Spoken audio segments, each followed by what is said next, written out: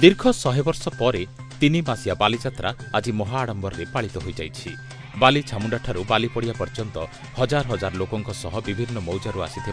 ग्राम देवदेवी निज निज लाठी विमान विमानसँग एक विशा अवसर अवसरले डाबुगा विधायक मनोहर रंधारी पूर्वतन विधायक भुजबल माझी विधायक प्रतिनिधि एम बुलुर राव डाबुगा ब्लक अध्यक्ष बीणा माझी हिन्दू महासंघ केन्द्रीय समिति प्रमुख जयंत कुमार पात्र पेडि सभापति सुरेन्द्र मिश्र जिल्ला परिषद सभ्य लिपिका माझी बोरीगाँ सरपंच सुक्रु भात्रा डाबुगा साम्बादिक संघर संपादक मिहिर शंकर पात्र वरिष्ठ बिजेडी नेता लक्ष्म पानका दशम कलार कुश पानका बोरिका हिन्दू महासंघ सभापति भास्कर